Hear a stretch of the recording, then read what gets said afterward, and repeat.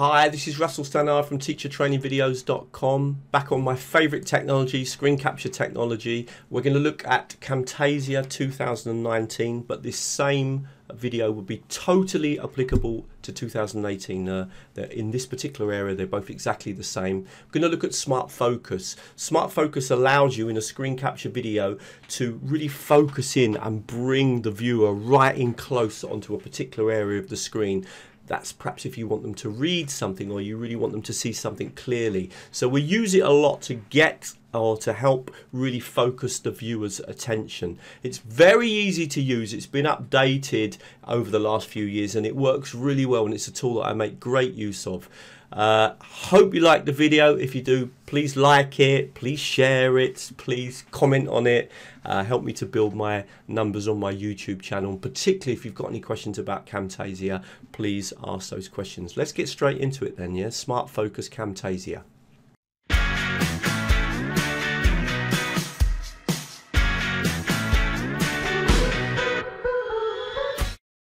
Now the Smart Focus tool has evolved quite a lot in Camtasia and the way that it works now is really good and it's very quick and I love it. I really make a lot of use of it because it's so easy to do. I'm going to drag some screen capture onto the screen so I'm just going to put that onto the timeline. You can see that now here on my website and what I'm doing here is I'm introducing a website called talkenglish.com okay so I'm basically I've got a screen capture video about using a technology called uh, talkenglish.com and notice that I'm also in the corner which is what I normally do in my videos as well. Now if we just play a little bit of this video okay to start with the website you'll see English that a lot um, of time lots of material a lot of time I'm focused on particular areas of the screen and you'll see it almost at the beginning I immediately start talking about one particular area of the, of the screen. One little tip when you're working with Smart Focus is to always add a cursor because it's going to be easier for you to follow on the screen where your cursor is because that's going to be an indication of, of the areas that you're focusing on.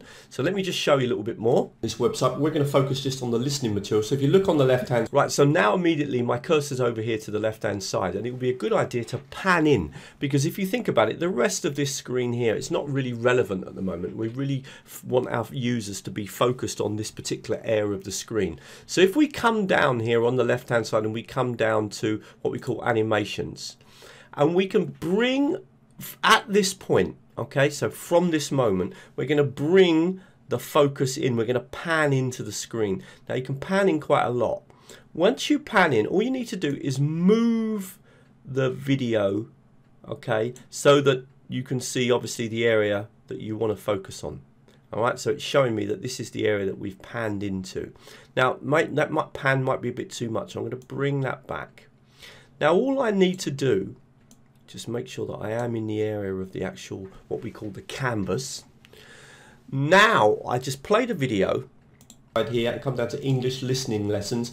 Now again I can notice that I probably focus in a bit too much see because it's now kind of dropping down. So what I'm going to do just to make I'm going to come back again. There's various ways I can do this but I'm just going to come back here. I'm actually going to drop that down a little bit then. So I'm going to put that down just a bit and remove it okay? So let's watch it again now so here, come down to That's English better. listening yeah. lessons. Notice you've got basic, intermediate and advanced. Let's perhaps look at the intermediate one click here. Right, so then suddenly you can see that I went off the screen. So again, we need to pan out again at that point. So let's move the playhead to the perfect point where, and I, what I sometimes do is I just use this little control here. It goes one, yeah, that's perfect because it kind of goes one at a time. So about this point, we need to pan out again because we know the cursor is going to come off the screen. So all we need to do, and this is what I really like about the, the zoom, is I just click on scale to fit and it jumps back. But the th lovely thing is, if we now play that, uh, if you're looking here on the screen, if we now play that, you'll notice that um, the pan will come in and then as soon as the cursor starts to move off it will pan out again. Now I've deliberately made a mistake when I've done this because I want to point something out to, to you as I do it. So let's just watch that pan working. So we're going to focus just on the listening material. So if you look on the left hand side here and come down to English listening lessons, notice you've got basic, intermediate and advanced. Let's perhaps look at the intermediate one.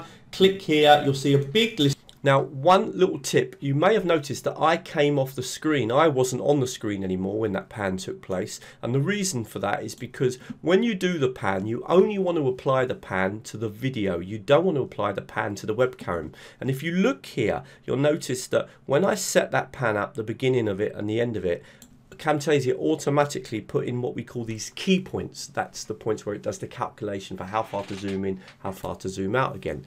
And notice that it applied them to both the video and to the webcam. Now I don't want the webcam, so two little tips. First of all, let's delete those. So we're going to delete the points on the webcam we don't want them. Sorry, I made a mistake. I've just clicked on the whole thing, deleted the whole thing. I just want to delete the points. So click on it and delete it. Okay.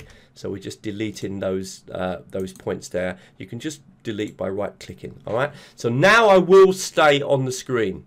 So that's the first tip. Don't uh, apply the pan to everything on the screen. You only need to apply the pan to the actual video itself, not, for example, the webcam. So now if we do that, you'll notice that it's We're going to focus going to work on the listening better. material. So if you look because on the, the pan comes in, but I'm still on the screen. All right.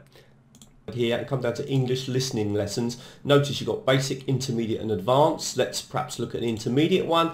Click here. And that's really professional. Do you see that? Because now as the cursor moves off, we pan out again. Now, you might be thinking, well, Russell, how do we avoid this problem with the webcam? Well, it's an easy way, actually. Let's, from now on, we're just going to lock that channel. So nothing will be applied to that channel. And I'm going to do one more example because I want to point out just to make it absolutely clear. So let's move along the playhead and pick another point where we're talking about something else. And this is a really good point because at this point here, I'm talking about this area. I'm talking basically about how you can listen to the audio in this particular website called Talk English. So this will be a perfect moment to pan in. So we've locked the uh, webcam, so that won't be affected. But what I want to point out to you is notice that as soon as, and we're going to choose off again, we're going to kind of click back one point at a time and pick that moment when we want to start the pan. So we want to start it when we come to this page, which is about which is about here, but a good moment to be panning in would be about now. So at that stage, I'm going to pan in, but I want you to notice what happens as soon as I click on this pan button, what happens here. It automatically adds the pan point where it's going to start. See how that's added onto the screen here at the bottom? Okay, so I'm going to again tactically move the video to where I want it to be. So we're panning in while I'm talking about that particular area on the screen. And each one's kind of divided into three things. You can listen in, you can do some questions, and you can also check the dialogue. Now, see, then I moved off, so we need to pan out again. So I need to move the playback head back again. And see, right, so that, let's just click here, watch a little bit, see when I start moving off. Right, I'm starting to move off now, aren't I? So at this point would be the perfect moment again to click on scale to fit. Notice again, it's going to add the, the second key point, the point when it needs to pan back out again. So if I click on, just click on scale to fit, it comes back to 100%. Okay, notice it hasn't applied it to my webcam. It's only applied it to the actual screen. So let's just watch that. This website, which is in. great click on the first one just to show Pan you. In. And each one's kind of divided into three things. You nice. can listen in, you can do some questions, and you can pan out again because I start moving off. Yeah, wonderful. So again, we get that real professional look when we're focusing on an area and then focusing out on an area. So remember a few tips. Make sure that you lock any channels that you don't want to apply the pan to. Find the perfect moment to start and then work out your perfect moment to pan out. You don't want to lose the cursor, so you never want the user not to be able to see where the cursor is. That's a really good tip. And the other tip is always add a cursor at the beginning before you even start. Drop the cursor onto the video because that way it's going to make it easier for you to follow and then add your pans. The pan tool is really easy to use great fun. It really adds something to the quality of the videos and it really just takes two or three minutes to to learn how to use. Really hope that's helped you. Please like the video. Please share the video. Please comment on the video and if you've got any questions uh, then please put the questions and I'll do my best to answer them. Thank you very much Okay, really hope you liked that video. Please come to teachertrainingvideos.com. Lots more free material available. There's a great uh, section on Camtasia and there's some useful playlists that you can access. Lots of other technologies as well. And here at the bottom, I deal with various kind of themes and topics, flipped classroom, blended learning. If you'd like to keep up with my work, two things that you can do. Number one, sign up to the newsletter lots of information about all the new videos, articles, webinars, courses that I run, etc. Uh, if you really want to access all my backdated material, the best thing is to sign up to the YouTube channel. That's starting to really grow now. Don't forget, if you subscribe to the YouTube channel, click on the bell because that way you get updated with all the latest technologies. And finally, if you're looking for training in Camtasia, please contact me. I do both face-to-face uh, training in companies, done a lot of work with Camtasia, and I also run some online courses. And thank you very much. And finally, if you'd like to continue your studies, I've provided you with three links to three sets of videos that I think you might find interesting. And thank you very much.